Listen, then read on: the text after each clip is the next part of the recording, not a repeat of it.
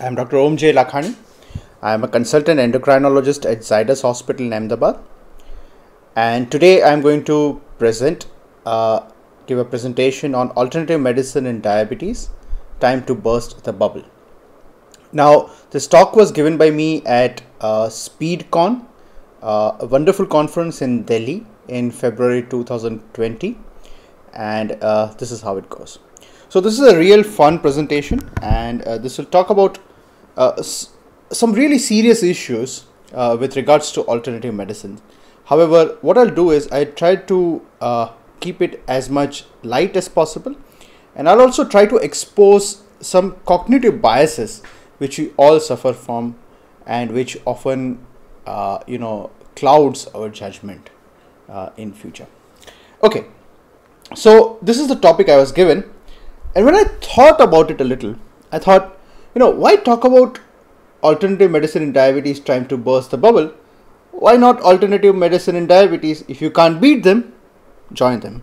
Because very clearly, and I see a lot of diabetes patients every day, a large number of them are either already taking some form of alternative medicine or are, you know, uh, willing or wanting to take some form of alternative medicine.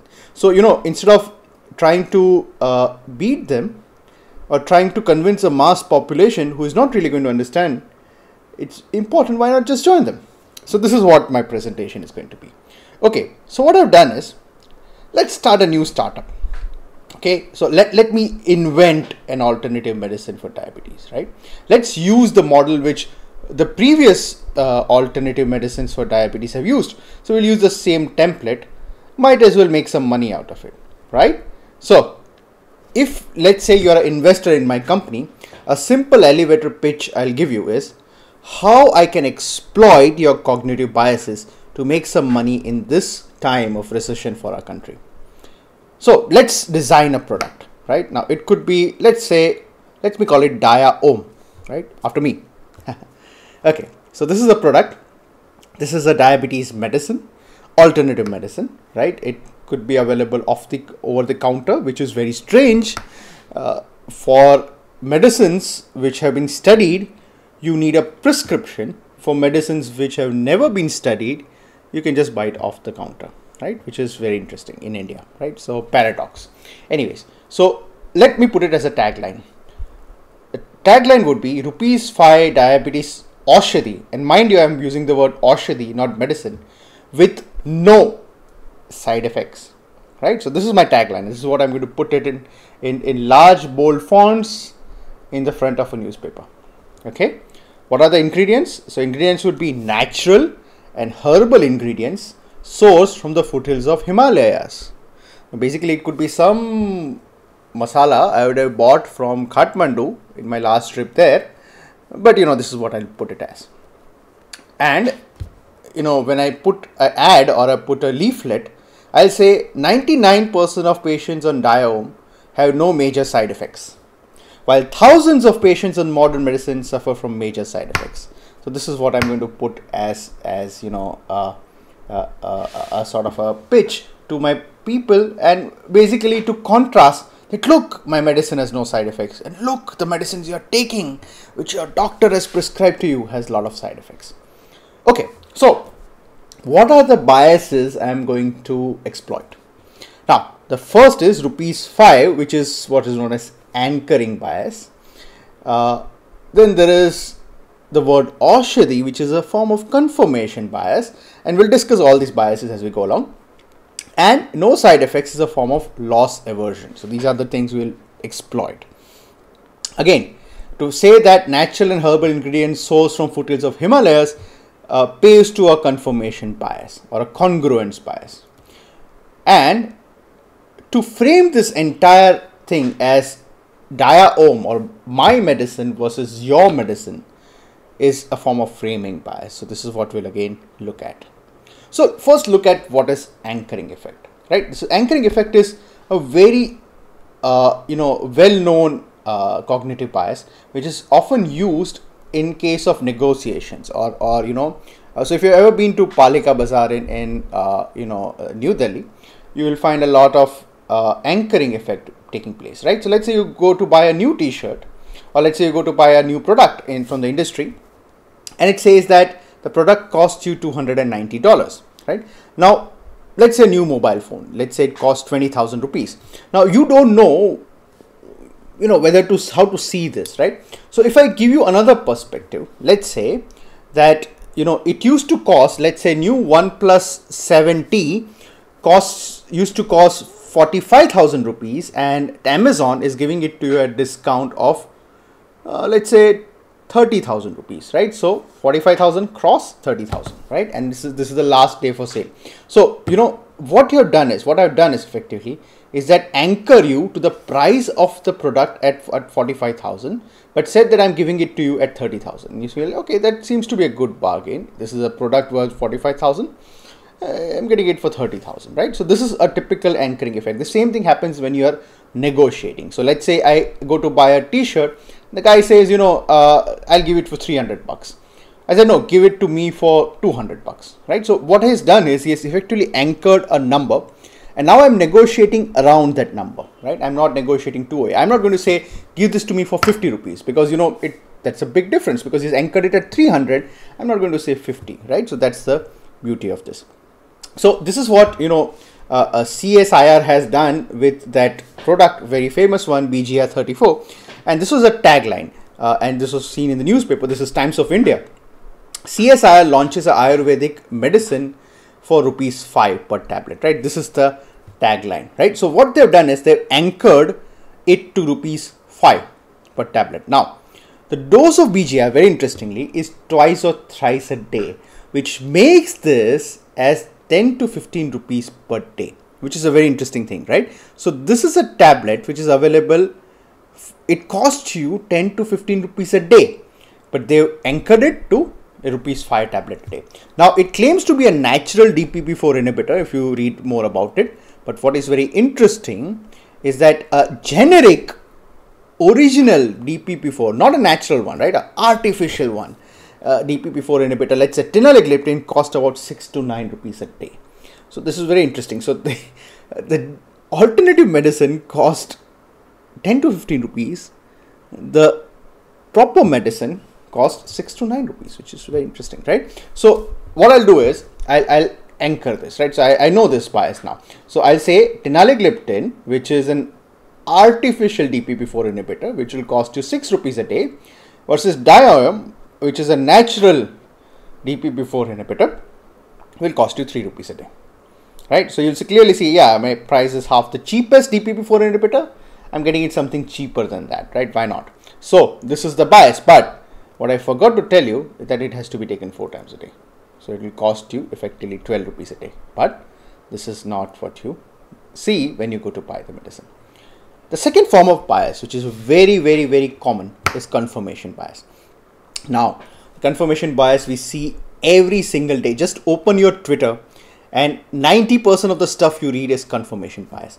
And in fact, so you know this is what you know companies like cambridge analytica and all this has been exploiting right? That you let's say you're inclined towards a particular political party you'll only find information which pertains to that political party or that conforms to your belief. That is confirmation bias. Now what happens in india is basically confirmation bias is when people would like a certain idea or concept to be true end up believing it to be true. So if you think it is true you probably will end up believing it to be true.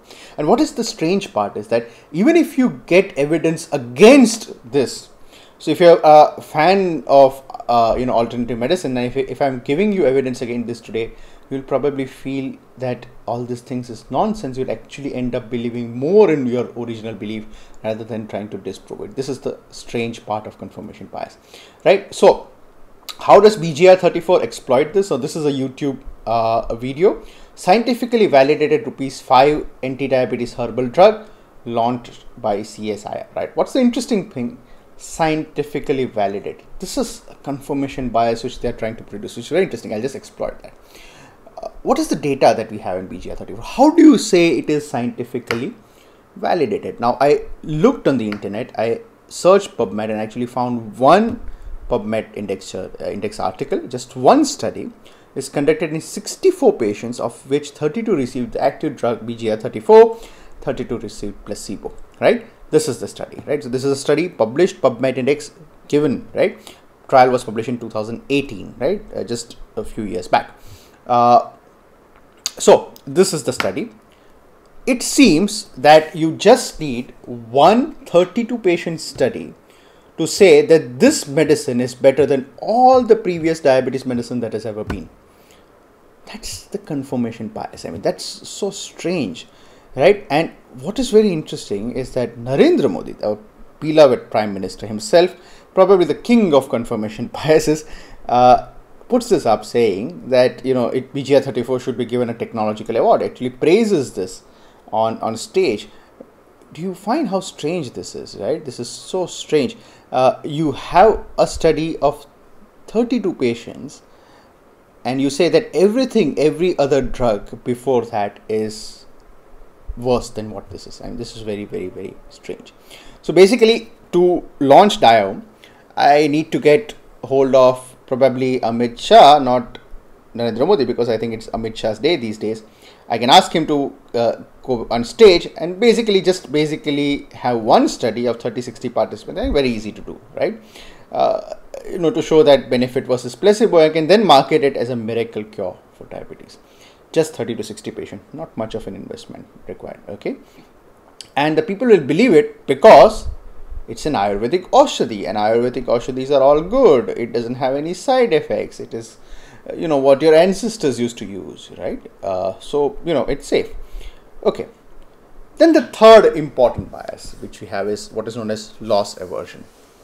And this is, this particular bias is not seen with everyone, right? So, uh, you know, this is something which is very specific to certain kind of people. Uh, for example, let me give you a finance example of this, right? Now, let's say uh, you know if if somebody tells you to invest in equity right now my father uh, always used to tell me when i was growing up never put your money in shares never put your money in shares you'll always lose money right? Uh, i said why not mutual funds? I said don't put your money in mutual funds. They basically put money in shares. So he had a loss aversion right? He would always put his money uh, in in debt instruments or or you know fixed deposits right? Uh, it still has. And and you know uh, uh that's the thing. So a large cap equity mutual fund would give you about 10 to 12 percent annualized return.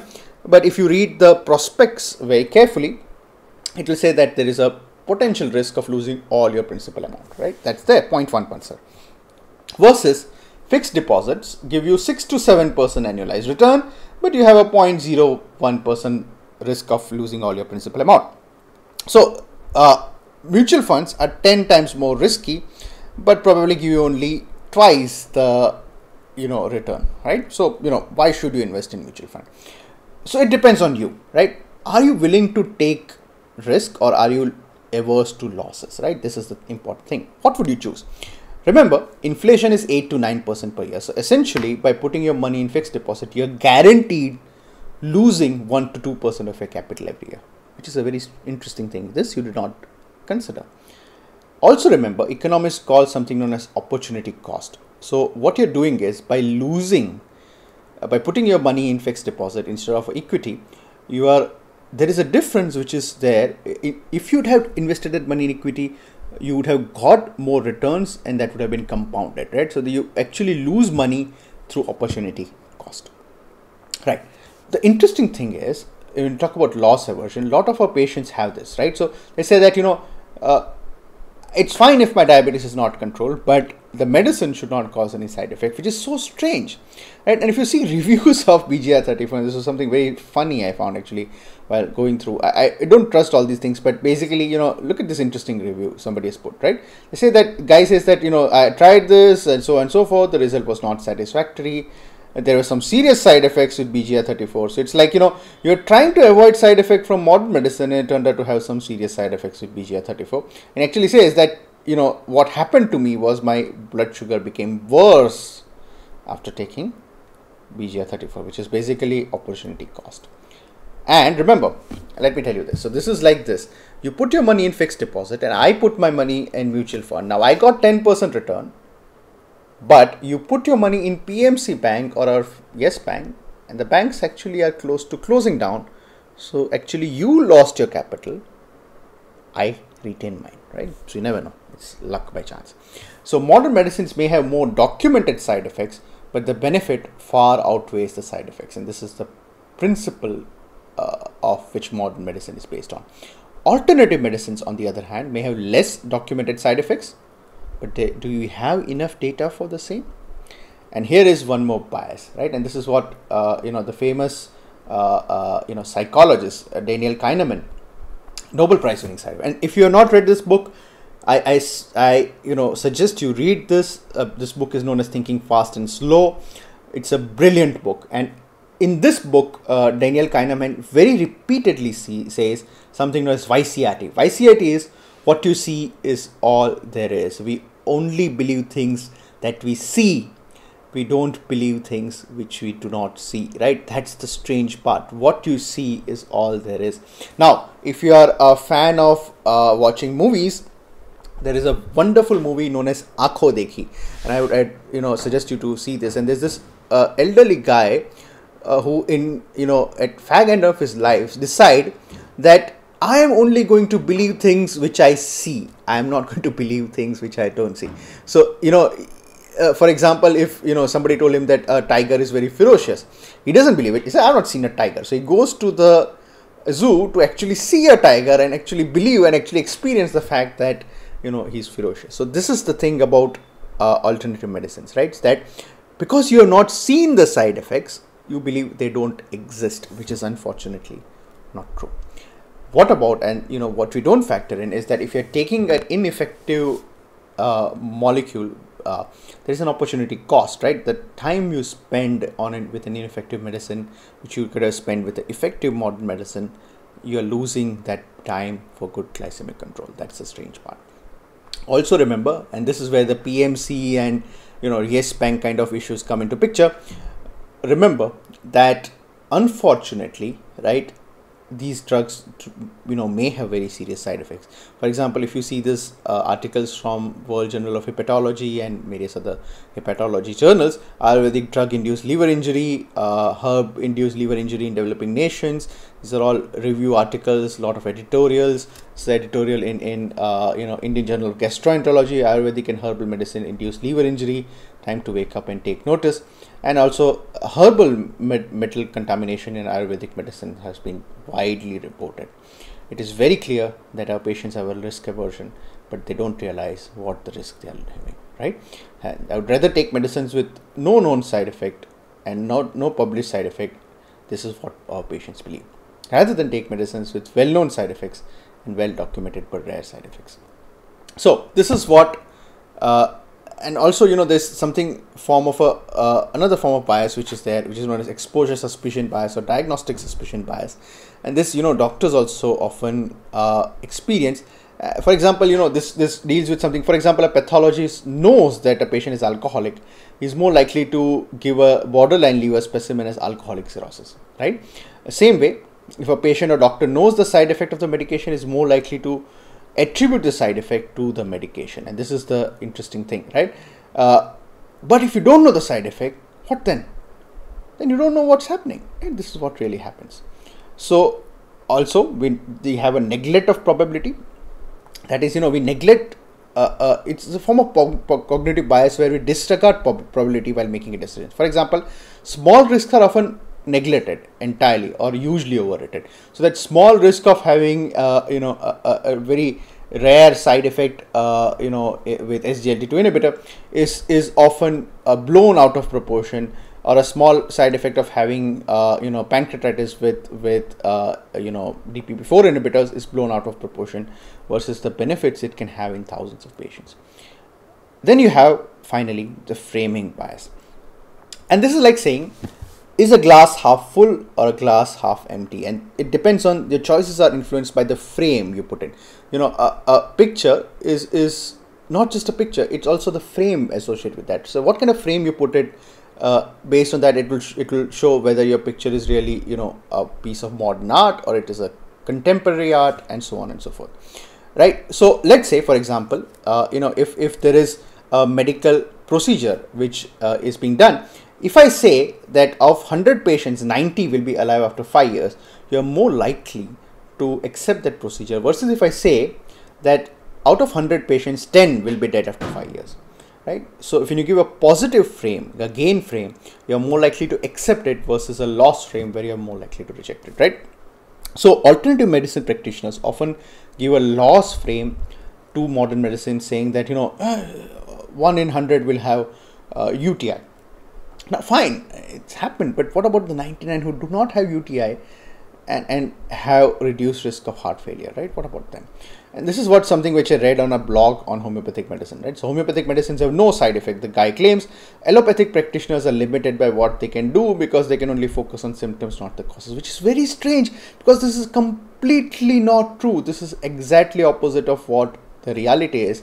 In fact, if you see this, you know, very interesting paper by uh, our speed group, uh, you know, use of metformin, SGLT2 and GLP receptor agonist in treatment of diabetes mellitus, what they found was that you know uh, one or more of these medications produce 7 kg weight loss in the diabetic patients. We all know that you know weight loss is actually treating the underlying uh, etiology, reducing the insulin resistance, uh, and this is what modern medicines do.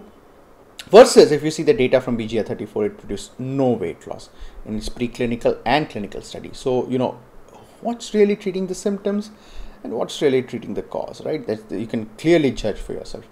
In fact, now since BGR produces no weight loss, how they framed it, you know, very interesting. Read this. Uh, the test drug administration showed significant increase in body weight in test rats, which is interesting.